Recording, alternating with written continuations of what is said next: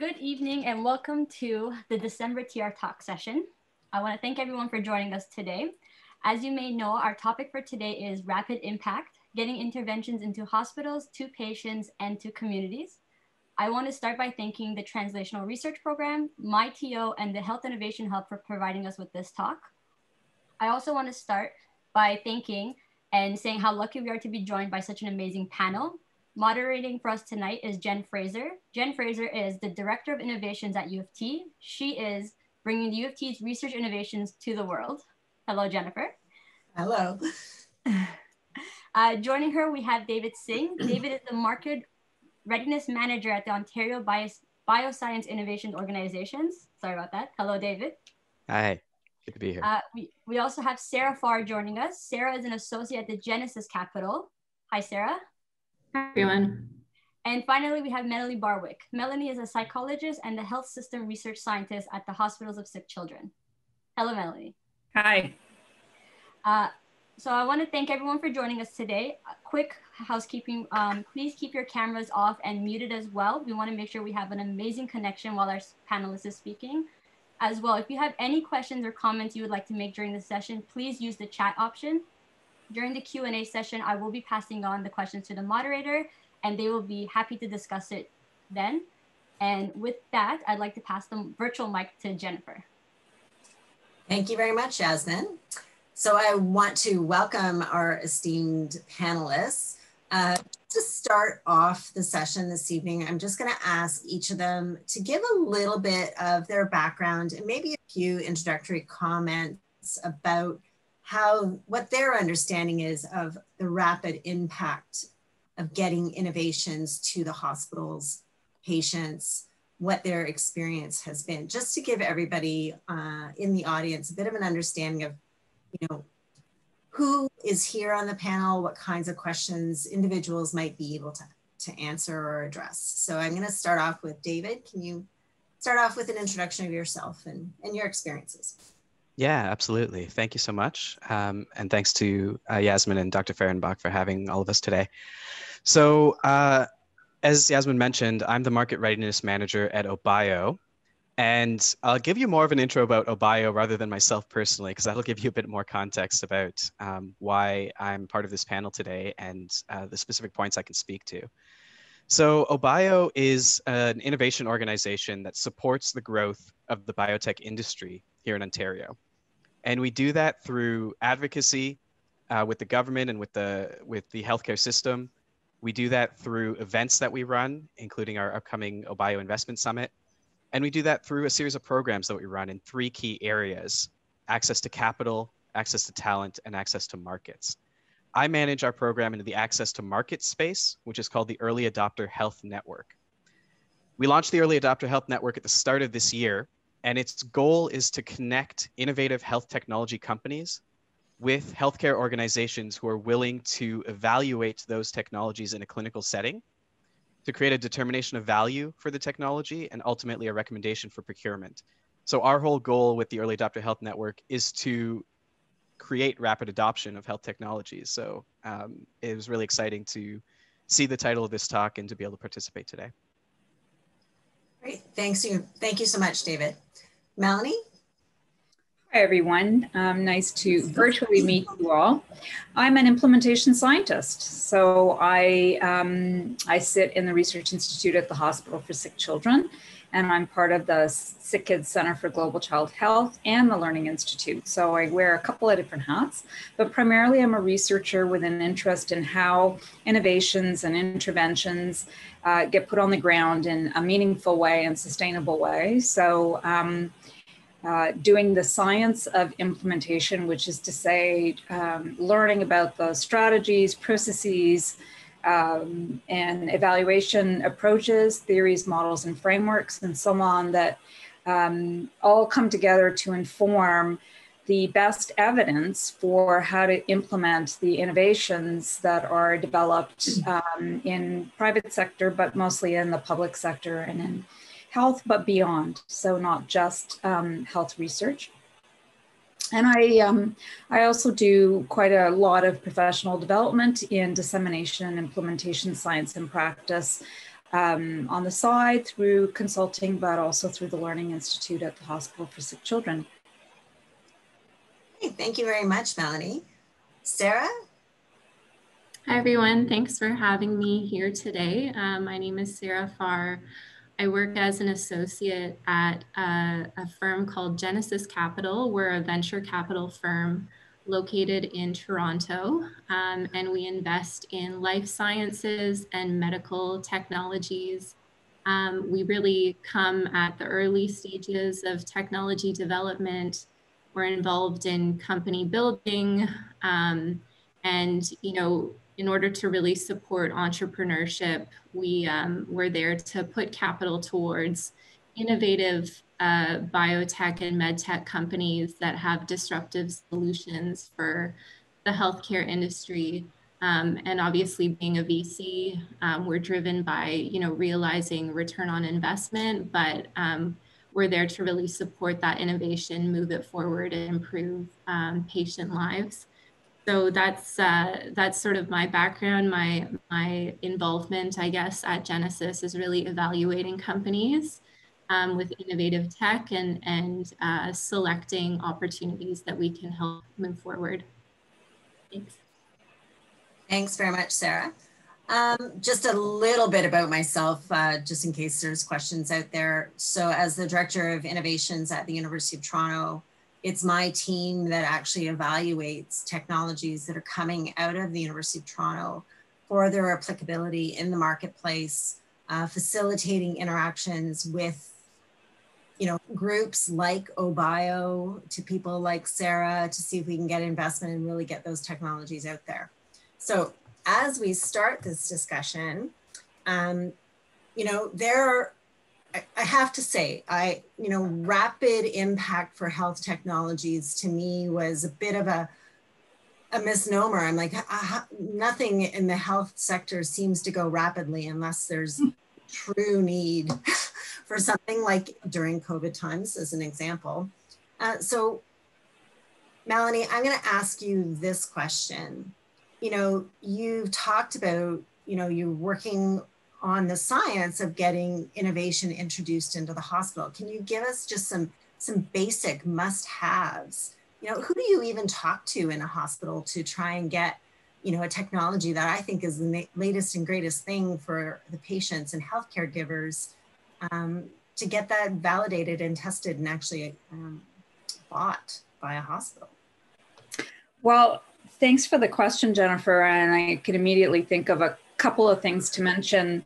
Um, you did touch on efficiency in terms of the time it takes for innovations to actually find their way into practice. So I might respond to that question in addition to the what are the core components. So when you when you ask, you know, what do you absolutely need to do in order um, for your innovations to uh, effectively get implemented, I think we're at a point in um, on the evidence-based implementation side to be able to identify some core components that um, that really are the building blocks of things that you must do, must have in your planning in order for things to hit the ground uh, and stay there um, in an effective way. So let me just speak to the efficiency question for a moment, which is, um, you know how do we how do we do this more rapidly than we have in the past? Um, and um, how do we make sure that there's some sustainability? And I think the efficiency comes from using the evidence base and implementation science.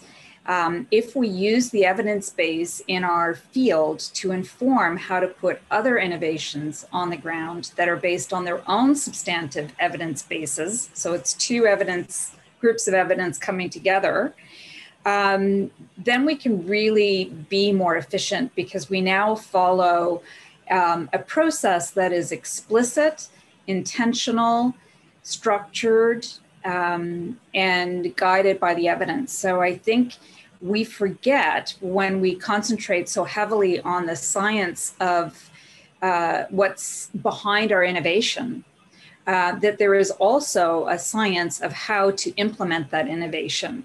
And we really need to be mindful of that evidence in that field as, as it exists. uh, this field of implementation science has just exploded since to, came on the scene in 2006 and we have lots of evidence that is quite difficult and and to synthesize and in a kind of meaningful way. Um, those of us working in the field are familiar with the evidence but that evidence is really important to two other at least two other groups of people. One innovators who work in other content areas uh, who are looking to implement and want to have at the ready some quick guidance on how to do that in an evidence based way. And funders, whether those be private sector funders or public sector funders, who are the purchasers of innovations um, or the funders of innovations, need to recognize what it takes. Um, and in my own work, more on the practice side of implementation, where I'm teaching implementation, I've had to come up with some um, at the ready kinds of ways to talk about implementation, what it takes without having people run from the room screaming because it's so difficult to, to, to wrap around your in your head. So I have five core components that I teach. So essentially the five things you must pay attention to in order to implement. The first is who does the implementing, and this is an implementation team, a small group of core people in the implementing organization who are going to be tasked with doing all of the activities in that process. You can think of process like a recipe in cooking, for instance. Um, so, an implementation team is the first thing you need to have uh, present and ready and supported by the leadership.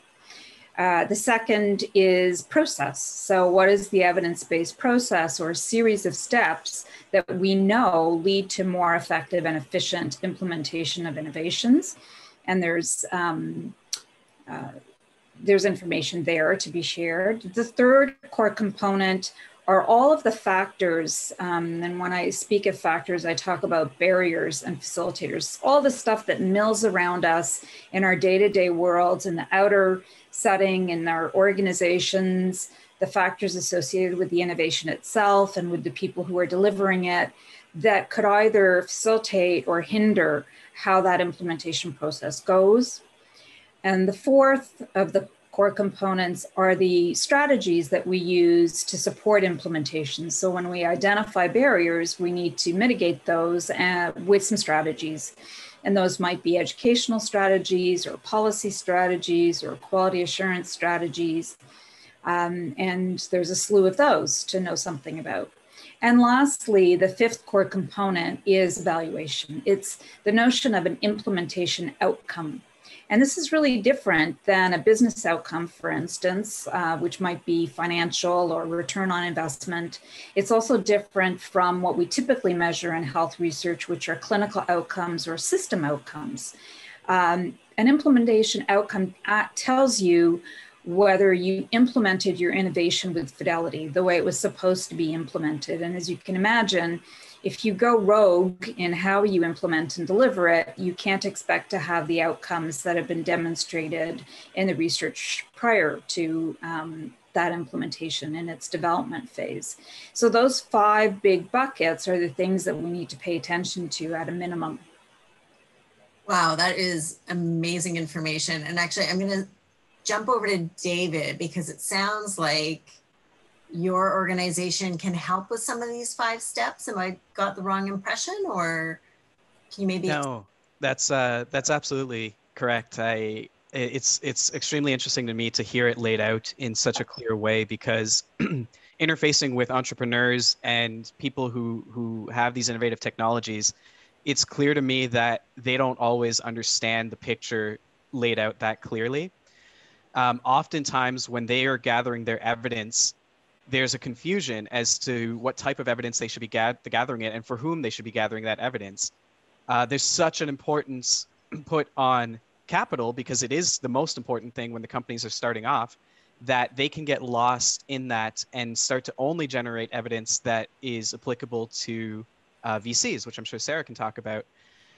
But when they engage with a hospital, there's a chance that they've missed the mark completely because they don't have the evidence necessary to prove their case in a clinical setting and to prove the case of value to the healthcare organization. So what we try to do in the Early Adopter Health Network is set them on the path towards understanding what they should be looking for and what they should be trying to generate when they do an evaluation in a clinical setting. And we use um, a term called the quadruple aim of healthcare as our definition of value. And for the audience, I'll, I'll, I'll define that. So the quadruple aim of healthcare is um, population health, patient experience, caregiver well-being, and cost. And so those are the four areas that we ask our companies to focus their evaluations on to develop an evidence set that can then go to the hospitals and go to their implement- implementation teams and create a really clear picture for them of why their technology is actually going to be helpful, how it's going to help patients, how it's going to help the people implementing the technology, how it's going to reduce costs. And cost is different from price. Um, that's another huge barrier to, to innovative technologies is, is a traditional focus on price. And, and I think I think we're all starting to move away from that, um, but, but there's still legacies of that in, in procurement and, and those type areas. But um, cost and uh, caregiver well-being, patient, and and and and and the, the experience beyond just um, health outcomes. How does a patient experience this technology? Um, because that that in effect uh, has has touch points in all the other areas. Okay, so I almost want you to repeat this. So population health, patient experience, caregiver experience, and what was the fourth one? Cost. Huh? Cost. Okay. Cost. Yeah. Cost. Okay. Because, okay, so now we're talking a little bit about all the evidence base that you need in terms of getting procurement at the hospitals to buy into it. Who needs to buy into this first? Is it the clinician and patient com- combination, or is it really that procurement function of a hospital that really needs to buy into it first, or is it maybe a combined um, strategy? Can either Melanie or Dave or even Sarah, if any of you have a yeah um, advice on that. Yeah, I, I can I can speak to kind of our approach, and and I'd love to hear everyone else's opinion. But our approach is absolutely that you you're you need a clinician champion you need an end user who's excited about your technology who understands why it's a great technology um, and who can champion it both at their organization and more broadly. But frankly, uh, clinicians drive adoption because they're the ones who are going to be using the technology. And if they don't want to use it, they won't. If, if a healthcare organization procures something and just hoists it upon a clinician, it's it's not really going to work um, in in our experience. And so that that clinical champion champion is super important. From there, you can develop the organizational uh, interest, and um, the patient at the end of the day is going to be excited about anything that that improves their health uh, and their experience. And and those are the technologies we focus on anyway. So, uh, to me, it's the clinical champion first. Okay, and so I have a different answer sure, go ahead. I have, um, and I'm going to try not to be overly academic about it, but um, you know that um, that core component of factors that I talked about. There's probably about 39, or if not more, and some of them, and, and I'm using a different language, but I'm not speaking across purposes from what Dave is talking about because he's really pointing out some of the key elements that need to be in place. Question is, which ones are more salient? Which ones really rise to the top? Doesn't matter where you're implementing, who's implementing, or what you're implementing. And so it speaks to some things in the in the inner and outer setting that have to do with um, relative advantage right? So the relative advantage for the patient, the relative advantage for the clinician, for the organization, for the system, right the way up. Um, the tension for change. You can have the best innovation in the world. It can be super cheap to make. You can even have champions and other things in place. But if there's no tension for change in the organization or the system or the unit, you're never going to get there because there's nothing to drive that motivation. And behavior change and practice change is always about two um, key elements of any kind of any inner psychology for anybody It's it's um, what Jonathan Haidt calls the rider and the elephant. This is the rider, so we can figure out, we can totally understand intellectually why something is a good thing to do, but the elephant is our motivation and our desire to go there. And as you can imagine, the rider is a lot smaller than the elephant. So unless that elephant is always, you know, on the path, you're going to have a hard push. So those factors really ide- identify aspects of the process, aspects of the innovation, um, aspects of the individuals who are delivering it. Um, people's readiness to change, and that differs at the individual level and the organizational level. Uh, champions are important, uh, and by, but so are opinion leaders in terms of you know people who are um, outside of the organization or even the leadership within the organization. It's their job not to make it happen, but to remind people where they're going and why they want to get there. Very good. And that's why I say, you know, events like COVID, which kind of drives that tension for change or this need for new implementation of different modalities, can be an environment in which lots of change can happen.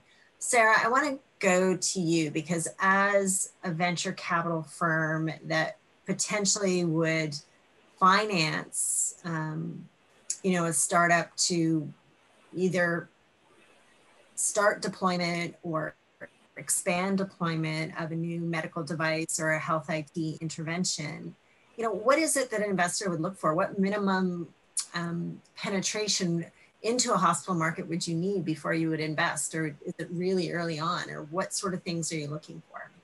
Yeah, that's a really good question. And actually, it sort of ties in with um, some of the comments that David and Melanie both made um, especially in terms of you know behavioral changes, looking at how ready um, the system and the uh, clinicians are to how ready they are to move um, and I think one of the one of the things that an investor will look at is not just what is sort of the minimum amount of data or validation that will be needed in order to get regulatory approval or um, you know reimbursement for that matter. It, it's also a large part of our diligence is actually on adoption of new technologies and going out to uh, key opinion leaders in the field speaking with clinicians speaking with reimbursement agencies um, and understanding whether there's really um,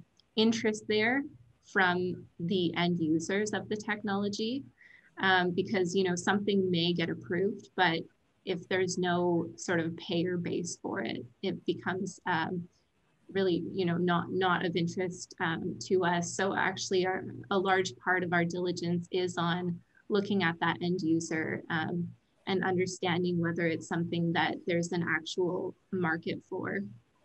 Um, so, I, I, mean, I hope that that gives a bit of, of context just from the investor perspective, which sort of aligns with um, some of the other things uh, the panel has been discussing. Okay, so I have a, quite a few questions actually already in the chat. Um, I'm going to ask one more of my own and then probably just pull a few of them out of the chat. I noticed, Melanie, you've already responded to one of them. Um, my question is because I, I understand there might be actually quite a few clinicians uh, tuning into this talk. You know, and we talked a little bit about clinician scientists being a champion within an organization. Could David or Melanie probably kind of talk to how easy is it for those clinicians to really champion things within their own institution and then get broader adoption? Is it feasible that somebody at UHN could approach UHN and, and deploy it fairly easily within their own hospital, or are, are there just hospitals in our community that are more receptive to these new technologies? David? Sure. Um, so I I actually very much agree with uh, Melanie's last point, and I really like the expression uh, that the, the, tension for change. Um, the the early adopter health network. One thing that was a core principle to our program is that uh, two pieces really. One is that it's very much an opt-in program. Um, organizations aren't all a good fit for this type of program because the the impetus for innovation has to come from the top. Um, it has to be an organizational level commitment to innovation and commitment to the adoption of value producing technologies. Um, so I think it is very much on an institution by institution basis. And then and then the clinician has the has the power. If um, if there's not an institutional uh, view towards change, view towards innovation, then it becomes much much more challenging, and it is very much uh, you know rolling a rock uphill. But the organizations that opt in um, are ones who have kind of committed to that viewpoint around uh, beginning with the end in mind, beginning with the procurement of innovation, innovative technologies in mind, and so therefore the the framework is there the, the bones are there for it already. So I, yeah i do think you need institutional buy-in to allow for clinician um, champions Great. Um, and actually, to that point, so I actually live in Richmond Hill, and there is a very innovative institution that is maybe it just recently opened or is about to open in Vaughan that talks exactly about that, all the innovations they've integrated into the hospital to ensure that, you know, they have the best information passed on patient care and it's shared within the hospital and other interventions I, I understand are being rapidly adopted. Um, Melanie, you're, you're nodding your head is, do you want, do you have a comment as well or? Sure. I mean, I want to point out that a lot of what we innovate doesn't come through a procurement pathway. These are, um, you know, we we develop innovations within hospital research institutes and elsewhere that can be implemented for free, as it were, in the sense that you're not buying it from a purveyor. Um, and probably a lot of the innovations and the interventions, which is also an innovation that are developed through research, come down that pathway. Um, I think that um, for hospitals to adopt hospital wide, organization wide innovations in practice and care uh, probably has to do with the strength of those innovations, the relative advantage of those innovations, um, the economics of those innovations, I'm sure, come into play. Um, but also, um, sorry, I lost my train of thought for a moment. I think it also has to do with, um, you know, whether it maps to their strategic plan. You know, um, right now we're looking at innovations in precision medicine at SickKids and uh, not just looking at the discovery of precision medicine sorts of innovations, whether they be digital or otherwise, uh, but also how those innovations will be implemented in the hospital and beyond, um, and thinking about that right at the point of developing the proposals for those innovations. So, right at the beginning and not thinking about it later. Um, I think those innovations and that pathway can start with clinicians, can start with researchers. I think their the decisions to adopt, as David points out, are at a you know a higher level uh, where there's a need and there's relative advantage that can be demonstrated about why you would want to and why you would want to adopt that. Um, some things take longer to adopt than others, but as you pointed out, Jennifer, COVID made us rapidly move to alternative strategies for service delivery because we had to. There was no other option. Um, outside of healthcare, you look at how restaurants have had to adapt in order to um, try and eke out a living. Um, and some adaptations in even in the pre-COVID world, if you think about the introduction of um, health information systems like Epic, um, that happened in a day, essentially. You turned the switch off to the old um, system and turned Epic on in the space of 24 hours, and people had to sink or swim. Now, the implementation process and training and so on was still ongoing, but context has a lot to do with um, whether you're needing to de-implement something that existed there previously, um, whether they still have options to hang on to that previous, perhaps less than um, less than best evidence approach to doing something or whether that old option evaporates. We, we have a hard time letting go of our cherished notions and our ways of doing business and practice. So that depends. Okay, great. Um, okay, I'm going to turn to our group chat here. Um, so one of the questions from Pat is, Melanie, you talk about evidence. Are you talking about evidence in terms of does it work as promised? Or are you talking about clinical evidence that it makes a difference in outcomes? Or are you talking about evidence in terms of the business case? Probably could be all of those. So it's all of them actually. So the evidence that you implemented what you thought you were implementing is the implementation outcome. Yeah. The evidence that it actually works is your clinical outcome or even your system level outcome in the sense that, you know, does it reduce wait list or wait time or days in care or what have you. Um, and uh, what was the third one? The evidence that uh, it's a business case. Like, what's the business case evidence? Well, cost in terms of cost of implementing an innovation uh, is an implementation outcome. It's also an economic outcome. So there's really two kinds of cost. What does it cost to deliver this innovation, and what does it cost at the front end to implement it? Because there will be um, there will be other expenditures that happen early on that maybe don't need to occur right the way through in the delivery. Um, okay, so some of the other questions are kind of turning to what are, I think, the best ways that companies can, and so um, I'm just going to kind of go back to, you know, one of the factors you talked about, uh, Melanie, was, you know, you have to break down barriers and you need to implementation as well as have facilitators of implementation. And I'm, I'm actually going to bring up um, an example that I've seen. It's actually a technology that came out of the University of Toronto. It's uh, deployed through a company called MyndTec, and it's meant for to get uh, additional upper arm or upper body movement for patients that have suffer, suffered maybe it's Parkinson's or even spinal cord injury, but it's to get additional upper arm movement. And of course, they're using a technology that helps the patient use those muscles more effectively, uh, tracks how well they're doing, et cetera, et cetera.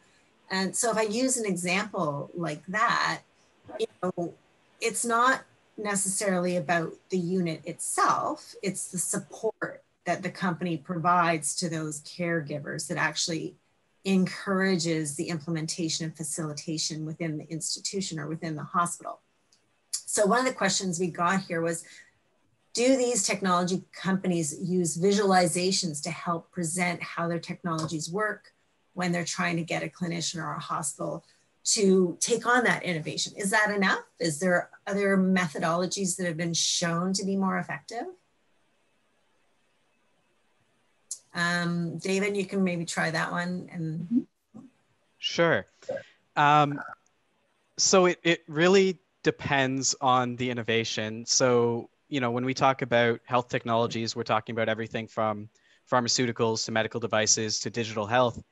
And in each one of those, the most effective uh, way of garnering support is going to be a little bit different. If you can put something in somebody's hands, that's amazing um, if they can have a tactile experience, if they can see and feel and, and, and touch uh, a piece of technology, that's going to have a real impact. Um, obviously, with something like a pharmaceutical, it's not really a thing. So um, you're going to be focused a lot more on your clinical evidence there and your stats behind it and all of that, which is always important. But um, depending on the type of innovation, more or less of an emphasis can be put on other modalities. Uh, with digital health, for example, um, you know, it, it's tough sometimes to describe the value of just another app, right? People in healthcare see these apps being put in front of them constantly, and telling one from the other becomes a bigger and bigger struggle. So, what do you do? You know, then it becomes, I think, a lot about um, stories. You know, do you have do you have examples? Do you have patient stories? Have you had people whose care experience has been improved by this? If you can put a face on uh, your technology, that's a huge advantage. Um, so visualizations, I think, is is a good kind of a good broad way of putting it. But absolutely, it's like um, it's like anything people engage with, right? Like like whether it's food, whether it's art, whether it's a, a piece of technology, the more ways you can engage somebody, the more chance you're going to have uh, to leave them with a positive opinion. I would agree. I would agree with Dave. I think um, the private sector does a much better job of um, marketing, social marketing, promotion. Um, and it's something that uh, academics need to learn how to do a lot better as well. Um, so that notion of trialability, so you know, putting something in somebody's hands, can you try it out before you commit, so that you get a sense of whether this is going to work for you, which is a model we see in the private sector when we buy things.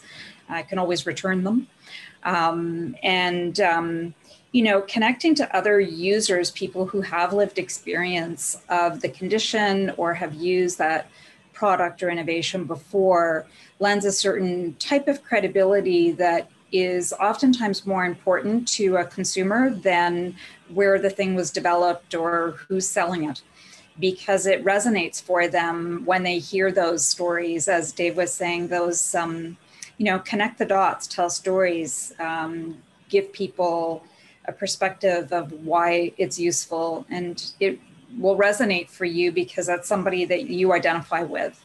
Um, giving people coaching and support and consultation in the private sector is probably more technical assistance. Um, any kind of assistance in terms of, you know, now that you have the product home or whatever it is, what, what do you do with it? How do you put it together? Uh, and so on. Um, you know, I think the private sector does a much better job of that. And those who are sort of the intermediary private sector, like where David sits and Sarah sit, um, I think we don't do as good a job. We tend to innovate and say, great, fine, we're done. On to the next project. And, you know, um, I was teaching earlier for TRP, it's my TRP day today, and I was giving them my IKEA example. Um, and everybody has the experience of going to ikea and you know the the vast amount of time it takes to find your product and bring it home. But when you bring it home it's in pieces. It's in a flat box. You have to take it out. You have to put the pieces together and you hope and pray that there are instructions and that you can understand those instructions and that all the pieces are there and that all the nuts and bolts and the allen key are also there and also that you're competent enough to be able to put it together which is not necessarily true for some people. Um, but you know, if you didn't have the instructions or something was missing, you're up a creek without a paddle. And IKEA really goes to great lengths to ensure that that doesn't happen to their consumers because it makes no there's no point in having a great product if you can't put it together yourself or use it the way you know and and be satisfied with it and yet as researchers we often worry so much about the product and then we put it somewhere no one can find it. And we don't necessarily include instructions on here's what to do with it now that you have it. Here's how to use it. Here's how to implement it. Here's how to put it together in your organization which i think is a big downfall. Yeah, maybe I'll, I'll add to that as well. Even on the pharmaceutical side, um, it's true that clinical data is obviously going to be the main thing that um, people will look at, but um, the idea of manufacturing and scale up, even though those may, may not be, you know, what your patent is protecting, those are really critical aspects of the innovation and ensuring that you have that capacity to manufacture the know-how that goes into that, the scale up capabilities are really huge value adds. And you've seen huge you know acquisitions um, in the gene therapy space and the cell therapy space. And now, you know, there's so much discussion on um, approaching more of an allogeneic method or a off the shelf sort of approach um, in order to address those concerns. So, um, and then, you know, so that's sort of on the pharma side. On the med tech side, I'll just comment as well on this on this idea of um, putting IP around features of a device um, that really ensure that the end user has uh, an experience that works for them. So if, especially if it's a direct to consumer product, ensuring that um, the device is something that um, the end user knows how to operate. Um, and actually, one of the companies that we're involved in has been putting resources towards um, engaging with end users and actually figuring out what sort of um, physical features of the device are most, uh, I guess, most valuable to those users. Um, so that level of engagement is also really valuable um, because I think that will um, enable greater implementation, greater uptake at the device of, of, the device at the end of the day. Mm-hmm. So Sarah, I have actually another question.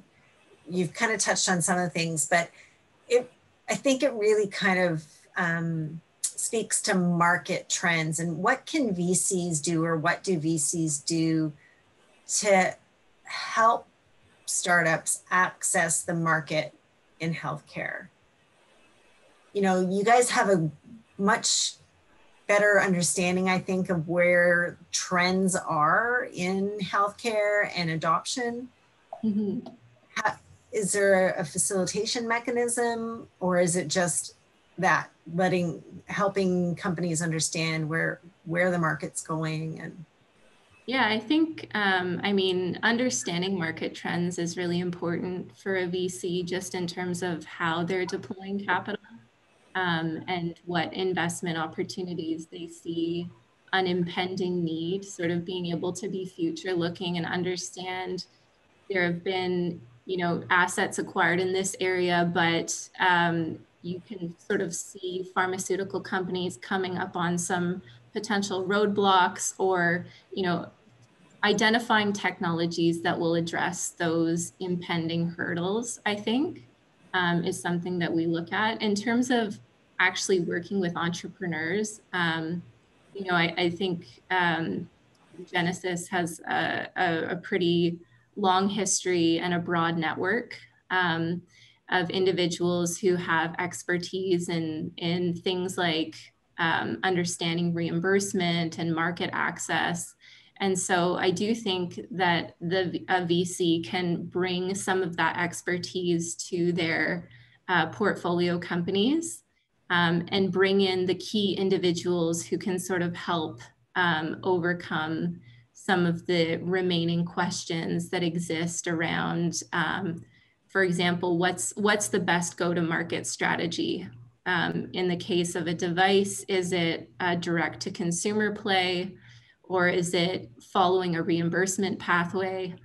And there are different organizations um, that have expertise in that area as well that entrepreneurs can get connected with to sort of understand um, for you know durable medical equipment what's what's the likely um, equivalent of the device that they're trying to generate that essentially will cause their our device to get sort of um, uh, stamped with a certain price tag just based on precedent. So you know there are groups that I think um, venture will have experience with from their past portfolio companies and exits that allow them to sort of bring that intel. Um, the other thing is uh, often VCs will operate within uh, syndicates and also have connections to pharmaceutical companies who will also, you know, be able to sort of feed back to us where certain, um, I guess, strategic interests lie and where those pharma companies are moving. And I think having those relationships is really valuable because you get a sense of you know, at, at the end of the day, you're often looking at um, sort of an M&A play as an exit strategy. And so if you can connect with those large pharmaceutical companies and get some of that, um, some of those discussions going up front, that can be uh, valuable as well. Yeah. Uh, did anybody, David or Melanie, want to add to that or? Yeah, I, I I think capital also has a huge um, ability to in- impact um, innovations access to geographic markets. So if you look at the difference between Canada and the US in terms of the size of our healthcare markets, Canada, um, the contribution of health technology to Canada's GDP is a, a tenth of what the US is, like by, of course, accounting for population. And yet, Canada is known globally for our work in developing innovation, our work at universities, our work at hospitals, the research that we produce is, is world class. So there's a disconnect there. And what we found that disconnect to be is that because of challenges in adoption um, within Canada due to regulatory framework, due to procurement um, constraints, capital, venture capital often will encourage companies to make their first market the US. And of course, the US should always be a target market for innovations. It's a massive, it's the number one market. But why shouldn't Canada be their first market if they're a Canadian innovation? Um, and that's that's a problem that we're definitely working to working to tackle. But it's one that, frankly, is impossible to tackle without some fundamental systemic changes at the government level. Yeah, and that is very very challenging. In fact, Sarah touched on this idea like you have to think about who your customer is. Is it really the hospital or is it the patient? And I, I do want to go back to the idea that, you know, this is rapid impact getting inventions, innovations to hospitals, patients, or the community. Why not take these things directly to the people? What, what characteristics make something more appropriate for one method of marketing or, or channel, I guess, what channel of distribution versus another? Um, David or Sarah, you want to comment on that? What distribution channel or what channel and why why take one route versus another? Yeah, I, I, can go ahead. Um, so I think again, it's it's it's highly um, highly innovation specific. I think we've seen in the last you know five to ten years just an explosion of growth in the digital health um, arena uh, in Canada, but also globally. And one of the big reasons for that is because it's so easy to go directly to your your end end user in digital health. You can put an app on the App Store, and you can have um, immediately have it put in front of millions of people, and allow kind of the natural market forces to to kind of um, take hold and allow certain things to rise to the top. But that's not always going to be a healthy way to approach health innovation. And um, I think the biggest reason for that is simply one of expertise. Um, of course, a person's individual healthcare is their own um, ballywick, it's their own domain. But uh, we rely on healthcare professionals for a reason. We rely on people who have the training and the expertise to to know their arena, to know to know how best to treat their patients. And for a lot of technologies, um, while a patient may advocate for them, it's it's tough. It's tough to know if it's actually the right clinical decision. And so knowing whether to go top down or bottom up in terms of how to market your innovation, I think really comes down to how uh, how clinical it is, how complex and how clinical it is, and who the person who's going to have the most expertise on it is going to be. Um, yeah, that's my take on it. Okay. Yeah, because there are technologies or interventions that are really quite simple. You know, it could be as simple as a new kind of heating pad for muscle aches or things like that. Um, I've seen TENS machines, which is like a muscle stimulation, you know, again, very direct to consumer, but of course, you know, how effective are they? Because they're going to have to be made for something that, you know, cause no harm is going to be their objective, but hopefully it at least psychologically helps the patient improve. But you never really know, right? So. We shouldn't be waiting till the end of the process to figure that out. Yeah. I mean, I think we have implementation scientists, as Joe was pointing out, to help along the way and bring that evidence base in.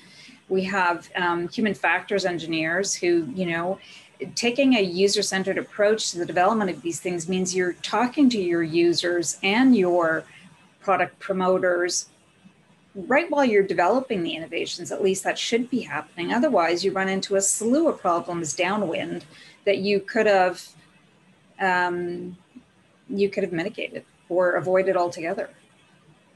Like we we all know, like the VCR machine that nobody knows how to program, or the microwave that doesn't work because you can't read it. You know, I mean, there are lots of things that we put out there in the consumer space that don't pass muster with respect to how usable they are, how satisfied clients are. That's because they miss some key steps in the development process. So, how would somebody go about partnering with an implementation scientist, uh, such as yourself, Melanie, and and I guess is that is that the role of an implementation scientist, or maybe expand a little bit on that?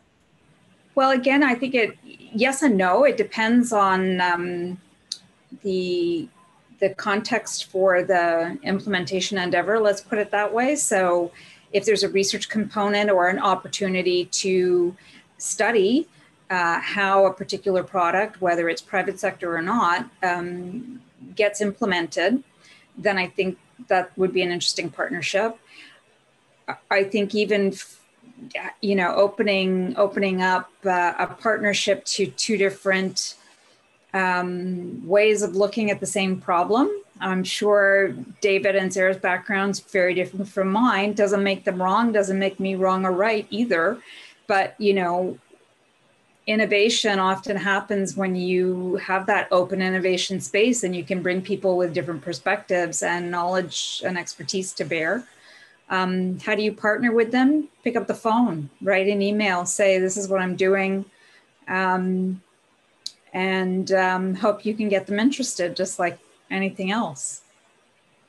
Right.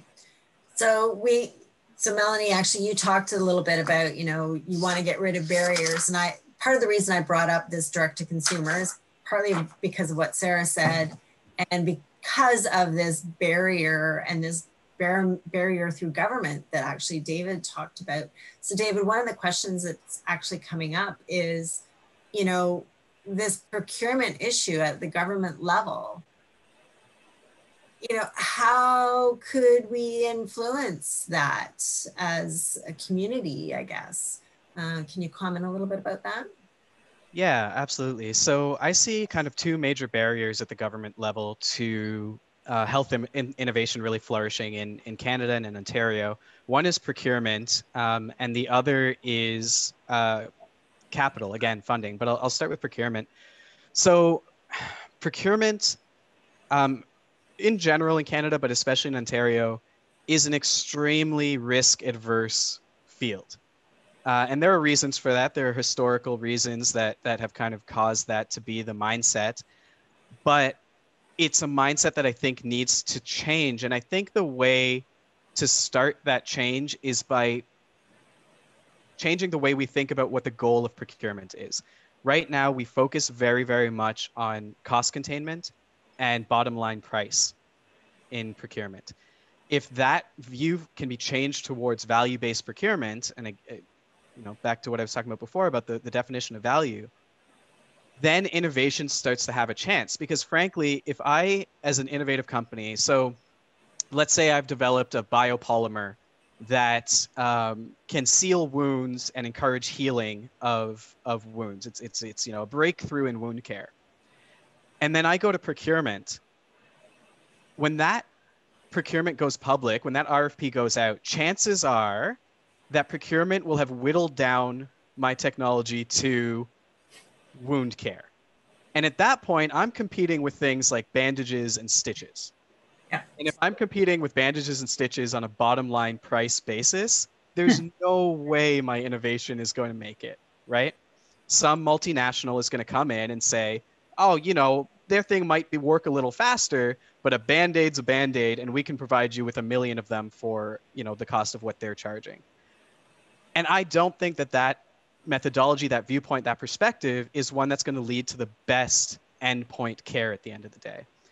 Um, so I think a shift in perspective towards value-based healthcare and value-based procurement is a key component uh, to to changing um, how innovation works in Ontario, and that change can happen at the institutional level, but I think really needs to be encouraged by uh, procurement guidelines, which are set out by uh, the government, the provincial government.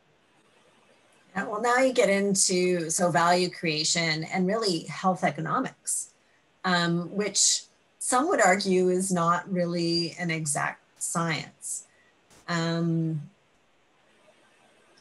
you know, thoughts? Yeah, well, I, I, think I'd kick it over to Melanie there and, and, and say that from the sounds of it, uh, it's it's turning into an exact science more and more every day. Um, so I, I am not a health economist, so but I work closely with health economists from time to time, and I would say it is a science um, and uh, has very rigorous and well-established methodologies. I mean, I think it comes down to and and this is not my end of the equation. So this is david's world and sarah's world and not mine on the procurement side of things. Um, people making decisions and setting up administrative bureaucratic systems that don't take the richness of the information into account. And i think david's example is a really good example. Um, you end up comparing apples with oranges um, because that's what the system is structured to to compare for you and you don't know that that's what's in your basket. Right? We're getting a question that comes up about the government's new centralized procurement agency. Does anybody know anything about it? Could they comment? Would that be an advantage or not? Sarah have you heard of this? No. No, no. i haven't either so i have to yeah I can, I can i can jump in there. So uh, the the current provincial government has uh, committed to moving procurement to a centralized process. So right now, most procurement for hospitals is done by large procurement groups. Um, these organizations that um, work on behalf of a couple, sometimes dozens of hospitals to procure commodities. The government is moved, uh, Plexxus is an example. Uh, the government is moving towards an, a, a system where the government would run procurement for commodities um, for hospitals. And the reason behind it being that it's the idea is that it's more efficient, uh, it's more standardized. You you have a similar level of care being deployed across all of your hospitals, and um, unfortunately, some of some of the work there kind of stalled out with the pandemic happening. But uh, I think they're still very much committed to the idea and I do think it can be very beneficial to innovation, but I think it's something that they maybe haven't quite contemplated yet. Uh, their focus has been very much on commodity procurements um, so far, but I think it's a great idea for them to develop some sort of innovation procurement model that could be centralized and um, could support individual, individual institutions in overcoming that hump that they have with the fact that value-based procurement is more expensive at the outset and pays dividends over time. Um, so I think I think the uh, I think yeah I think the government definitely has could have a role to play with that in centralized procurement. I mean, I guess the other big thing with pricing is just, um, and this again goes back to historically how Canada's operated, but um, sort of restricting drug pricing has been there's a lot of discussion around that, especially in the States right now, and how that's going to impact innovation. So ensuring that Canada offers a market where new drugs, um, where it makes sense to have approval of new drugs and um, where that innovation isn't going to be stifled by, you know, lowest possible drug price. I think it is is a discussion that's probably worth having. I know it's it's taking place in the states um, because I think you know pharma companies are going to look at whether the Canadian market makes sense. And, you know, that's something that that feeds into it. Yeah, and I concur. Like I I we have a group that's government relations at U of T. Um, I've heard just through the grapevine, you know, pharma companies wanting to invest in Canada because of our procurement policies. They're not happy about it. So you know, if I'm going to support, it's going to, I'm going to support in a country that's willing to help me innovate by, you know, supporting through buying my drug at market rate. So it all, what goes around comes around, unfortunately. Jennifer, I have a question. Sure. For David and Sarah, and you know, if anybody else wants to pipe in. Um, and, you know, by virtue of this panel, we have perspectives of the private sector pathway and commercialization and procurement, and also the research pathway of just innovating and putting things out there as evidence based interventions or innovations for people to use. Um, and it's always been curious to me um, that we have entities such as both your organizations and and Jennifer's at the university that are really in existence to help um, facilitate that process. But the, that seems to be only applicable and available if you have something to sell at the end of the day, if it's going to be a commercialized um, uh, product and something that's marketed that is going to make money for the venture capital capitalists or that is going to be seen as a breakthrough that can be scaled up at such a massive scale.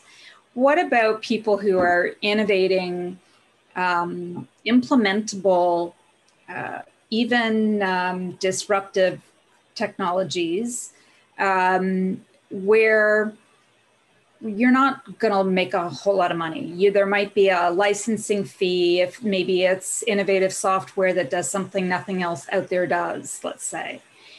There really is nothing to support to fund that other than, you know, for someone like me, the federal funding opportunities, um, which are limited in their understanding of why this sort of work is important, to be fair. Um, and there's there's you know short of what support you might have within an organization no one in sort of your types of organizations that i feel are a good match to help people like me who have innovations that you know are are seeking funding and seeking scale up and scale out. Any comment from the two of you and from jennifer actually put you on the spot? Yeah that's a really good really good point um, because it's true that in venture you're definitely focused on return on investment that's what's always going to drive uh, the decision making um, and it's true that you know in in academic centers and hospitals you can have some really really innovative technologies devices diagnostic tests emerging that may not necessarily have a huge sort of commercial market to them but have value to clinical practice. And i think you know um, having institutional funds available within various hospitals is really important for sort of de-risking that. I know um, some institutions have small grants that are directed towards um, getting the proof of concept data and sort of um, starting to roll out some of those devices. If it's in the pediatric setting at SickKids, for example, maybe you could um, use that money to sort of put, I don't know, 10 different devices across the NICU um, to sort of facilitate clinical management. Like, I do think that it's important for institutions to have some of that funding available um, to advance, you know, made in-house sort of innovative technologies. And the other thing is eh, on the diagnostic side, laboratory test development, having um, the, I guess, these clinical diagnostic labs, um, somehow empowering them to have a, a, pool of money directed towards translating um, academic tests into a clinical LDT could be really valuable. Um, on the on the other side, I, I guess um, with venture, you know, we do sometimes see platform technologies that have applicability to markets in less developed regions. And in that case, getting funding from something like the Gates Foundation can be really valuable, um, where, you know, the venture group might take on a disease indication that has, I guess, greater uh, possibility of return on investment, but um, the Gates Foundation could develop sort of the other side of it for a market that's maybe less attractive commercially. I mean, there are vehicles even within SickKids, as you said. You know, there's there's um, the CEO's special fund, and we do have an industry partnerships commercialization office to provide support, not funding, but support. And um, we have within the SickKids Foundation, we have um, an Innovators Challenge every year, and we actually have a project up as a top three this year but um, you know it's it is harder and i sort of feel like the the um, you know, the least liked child sometimes because the focus with the university, with the funders, and so on is really um, the biotech industry. And if your innovations are not biotech or they don't meet some of the criteria that we've been discussing, um, you kind of don't make you don't make it on the map. And i mean i'm a full professor at the university of toronto. How's the university of toronto helping me get my innovations on the ground? Um, if the focus is always going to be on biotech and pharmaceutical and you know that commercialization pathway. Yeah so you know we've talked a little bit about how hospitals need to have that you know message from the top, I guess, in terms of bringing on new innovations. I think the same is true for an institution. They've got to have, you know, programs and a mandate for what I think you're talking about, Melanie, which is more social innovation. So things that are going to have an impact on society, but may not have that financial return that a VC group like Sarah is looking for. Mm-hmm. Um, so I will say that the University of Toronto is very focused on social innovation. Um, we are wanting to support these types of initiatives, and we do have a few programs at the institution that people can apply for those funds uh, for their social innovation. And like Sarah talks about, like groups like the Gates Foundation yeah. are really looking for social innovation that can be deployed in third world you know, you utilize it here locally as well, but you know, they're going to actually help you. Gates Foundation actually helps us to find uh, licensees in these third world countries and um, mm-hmm. these types of technologies that kind of supports then its deployment in a first world country. Um, so they're they're out there. They're not as easy to find, I have to admit. Uh, the amounts of money are a lot lower. But the biggest thing, honestly, to get those kinds of innovations out there is the champion to really push it forward and the right connections with the right people who have that more philanthropic um, taps at their heart. So therefore, I'm going to donate some money for this cause. Like that's the type of thing that you can do to support that type of innovation I think you're referring to. Mm-hmm. Um, and it, you know, and we t- and we talk about, you know, do the hospitals have these foundation funds or funds to go to these kinds of things? Um,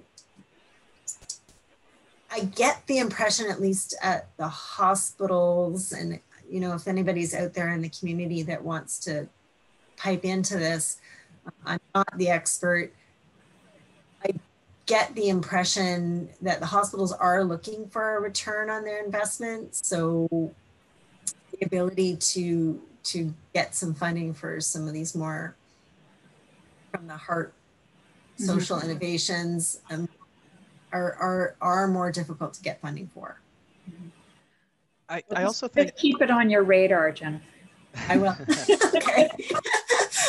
Love to hear more about what you know, kind of concrete examples because sure happy to talk to you about One of the things about philanthropic donations is you've got to find that investor that that message and that need hits home for. Mm-hmm. So you can get that kind of funding from. It's that story that you tell and the impact that you want to, you know, have on society, but it requires that cash input that may not, you know, result in some kind of return? Well, it's it's hard to move philanthropic or any investors, even federal research funding bodies, um, expand their focus from discovery research to how all of these discoveries are actually going to make it into the hands of people who will benefit from them. That's sort of like, oh, yeah, and then there's that.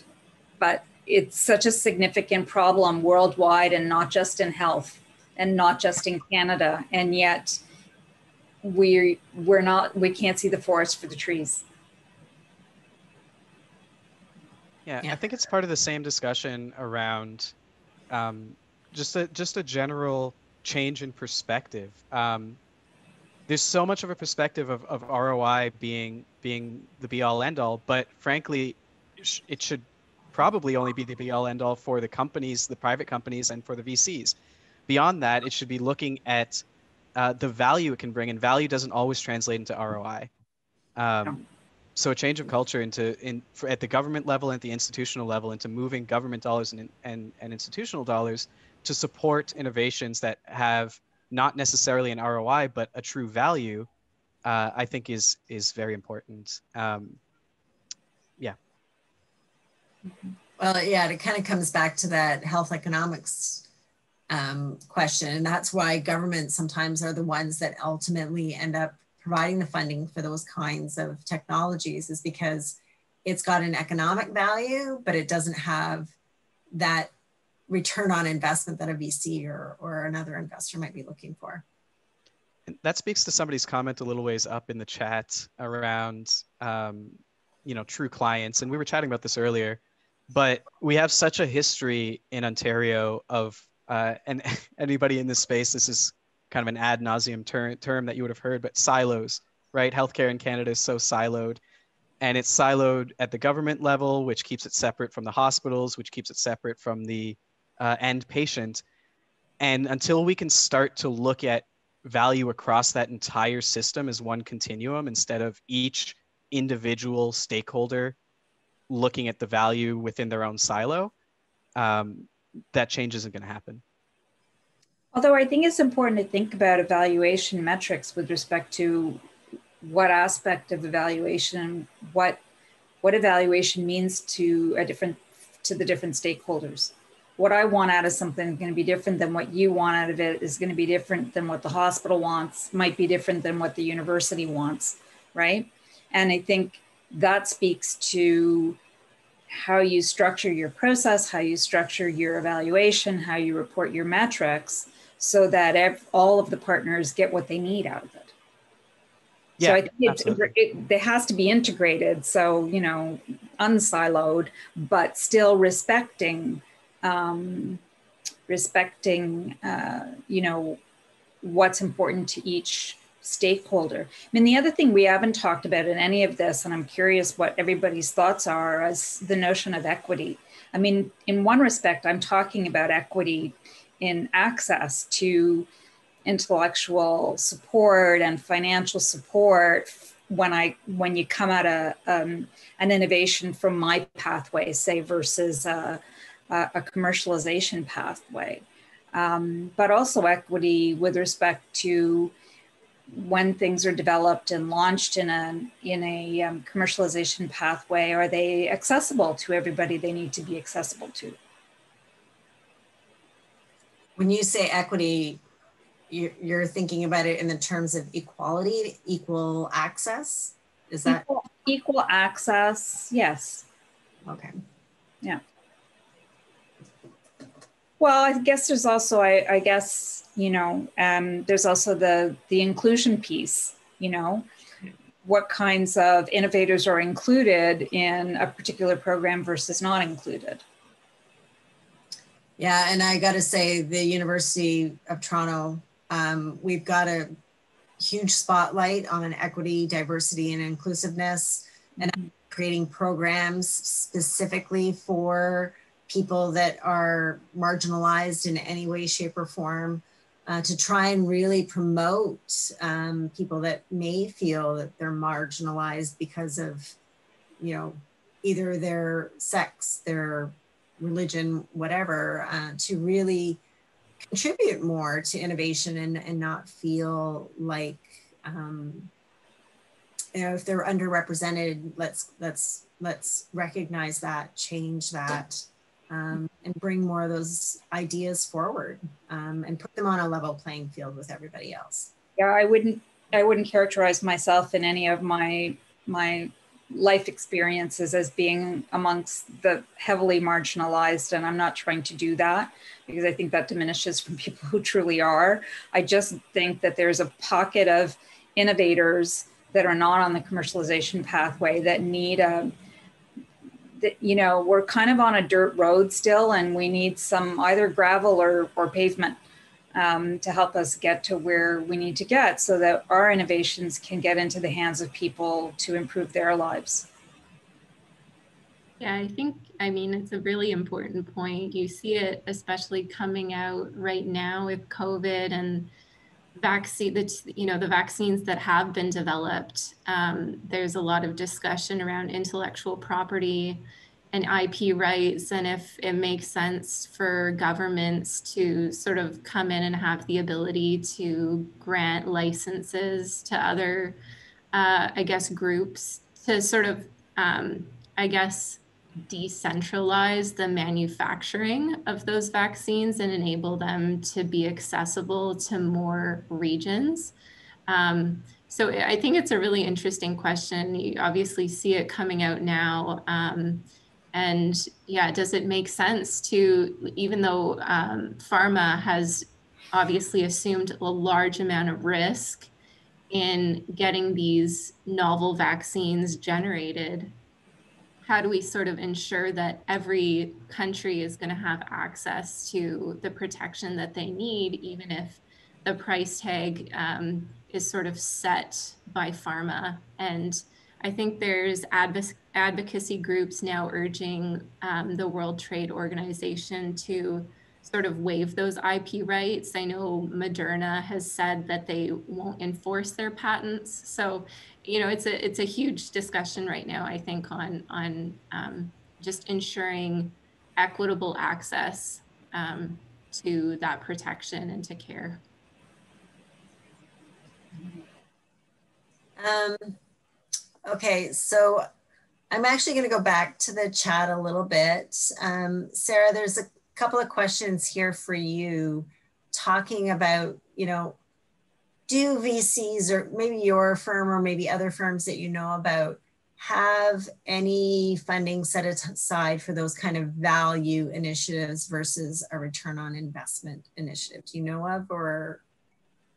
Um, it's a good question. I I think our firm um, is is you know we operate um, with the intention of uh, return on investment for our investors. Um, the way a VC fund works is, you know, we um, we have our limited partners who have invested in the fund, and at the end of the day, um, to sort of continue raising subsequent funds, it's important for us to show that we have made return on investment and um, that there's a financial reason for them to continue um, putting their money into Genesys.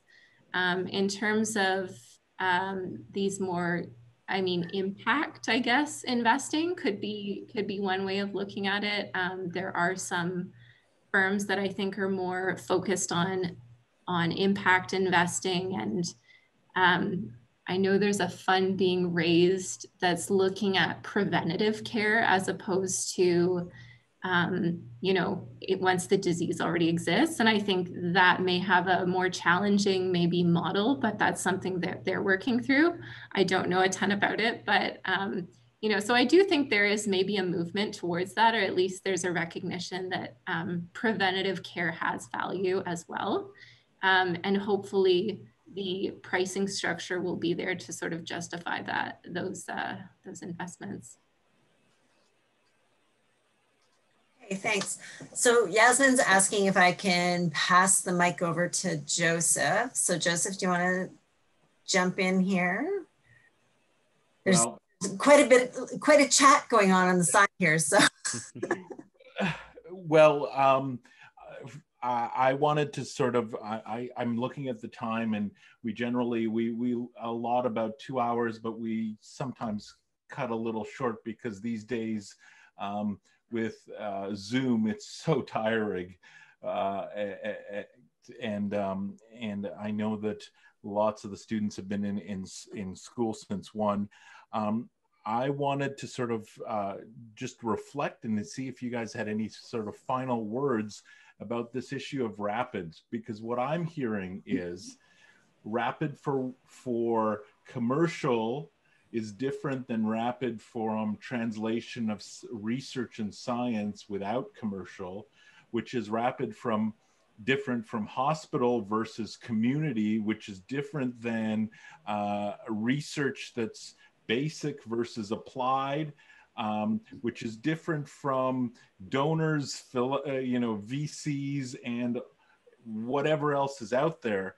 Um, so how do we at the end of the day have impact on health for patients quickly i think it's okay to have more than one road to rome yeah. I think it's it's fine. I just you know there are some advantages to where the money is that maybe isn't always accessible to some eh, to the detriment of other innovations. Um, you know um, as a researcher one never shirks the challenge of trying to figure out how they're going to carve their own path and you know um, who's out there who can help and that it's a whole other level of innovation right so um,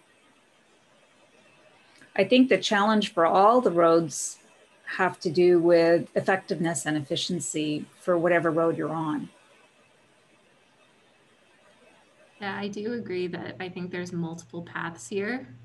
Um, from the venture side, I would say, my, with my venture hat on, I would say start a company, uh, be an entrepreneur, and sort of drive that forward. And and think big about your platform and try to raise lots of capital because I think the more capital you have, the faster you can work, the faster you can operate.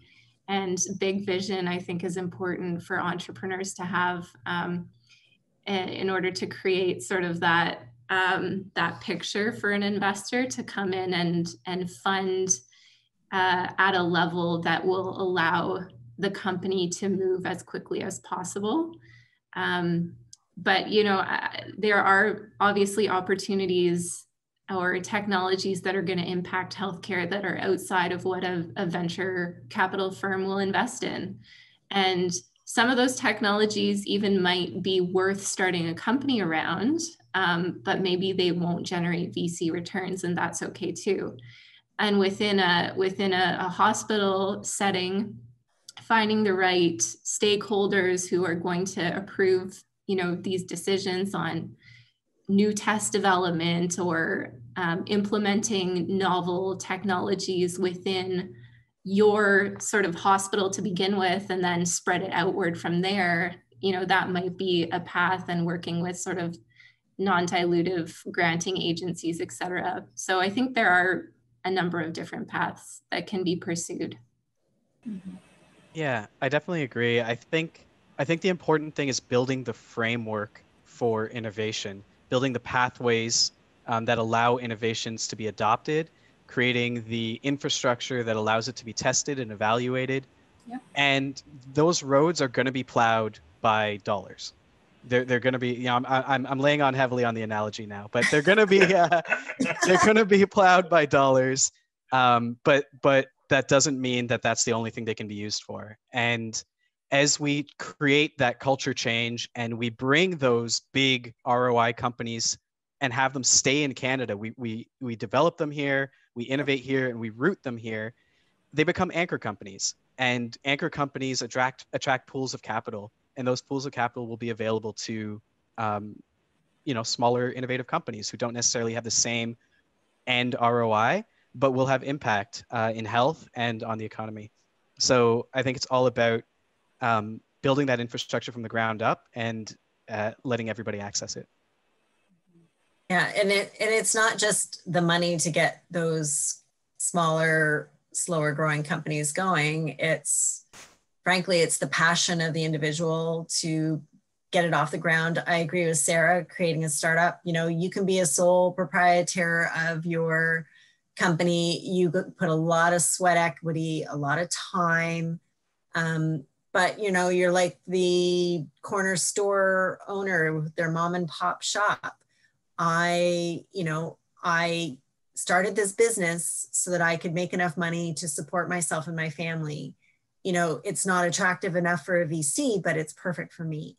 So sometimes you just are, you're creating and building a business from scratch and you're putting your passion and your your life into that for a pretty steady return for a family. And, you know, sometimes it's those that really the types of companies that build this country. And it's a basis for, you know, employing 20 people. And that's phenomenal. And we should never lose sight of that. Absolutely. So, um, I, speaking on behalf of the uh, Translational Research Program, uh, Medical Innovations Toronto, and the Health Innovation Hub. Um, I want to first and foremost thank um, our moderator and panelists um, for a very interesting discussion because I think you all presented very unique and very similar in, or parallel uh, perspectives in the sense that we need to figure out how to lay the infrastructure to optimize on the research that we, we, we are developing. And I think that is a clear message that all four of you share. Um, I also want to very much thank the Connaught Global Fund for their support uh, of this series. Um, and uh, not least, though last, uh, I want to thank Yasmin for all her work in organizing these uh, talks and events, um, which are, are a, a, a, lot of work, um, but they have a lot of really interesting discussion and results. So um, I, let's clap and for everybody and thank you. Uh, um, our next session is in January. Uh, lots of new things coming up. Uh, new year, hopefully one where we can go outside and maybe one day in person. maybe. Okay, I want. I also want to thank um, all of the panelists. You guys were great. You had lots of wonderful insights. Um, it makes it easy to moderate, and I just wanted to thank every one of you, David, Melanie, and Sarah, for for joining. Um, Yasmin, thank you for having myself. Um, thank you for joining us, everyone. I really appreciate it. Uh, I actually want to give a quick shout out to the audience. I love seeing the chat blow up and, and you know everyone interacting with each other as well as the panelists. Um, it's just great to have all these mini conversations and really get all different perspectives all in one room and, and sharing ideas. So thank you everyone. And I hope everyone has a great rest of the week.